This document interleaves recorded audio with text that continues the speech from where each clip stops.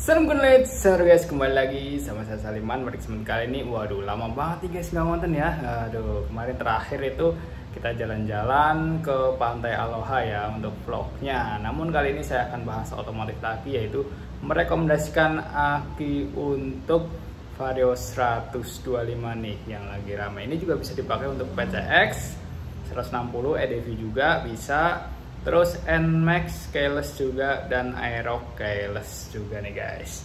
Oke selain itu CBR 150 juga masuk Satria iView GSX 150R juga masuk guys. Nah ini untuk tipenya adalah uh, Motobed MTZ6S oke untuk ampernya sendiri dia 4 ampere ya. Kalau nggak salah ya.